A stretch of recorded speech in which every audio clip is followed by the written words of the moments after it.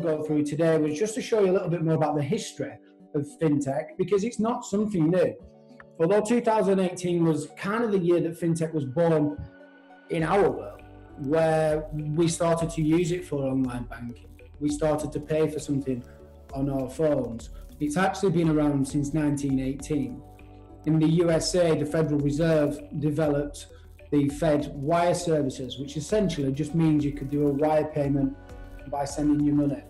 And then one of the biggest stock markets in the USA, the NASDAQ, invented the electronic trading system, which changed the face of stock markets forever. Something that you'll probably know more about than, than us is the bank called Wells Fargo and how they what they did way back in 1975 was developed an online checking account. So I know that that's quite popular through Mexico as well. 1998, who knows about PayPal? Okay, everybody uses PayPal every single day.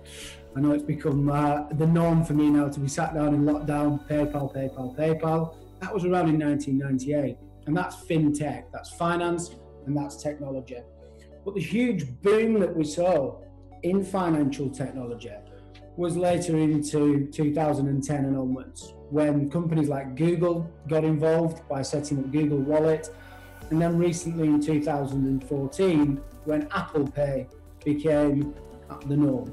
Now we're seeing lots of changes within how we spend money on a day to day basis, so much so people talking about cashless societies.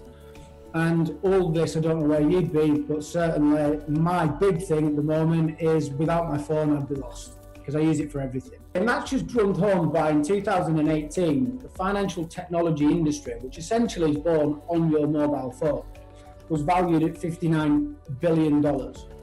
And just four days ago, UBS predicted that in 2030 the industry will be worth 500 billion.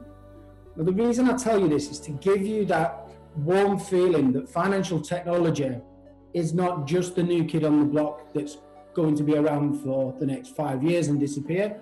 This is the future. It's already been considering where we are with PayPal, Google, Apple Pay. Please do subscribe, hit the button.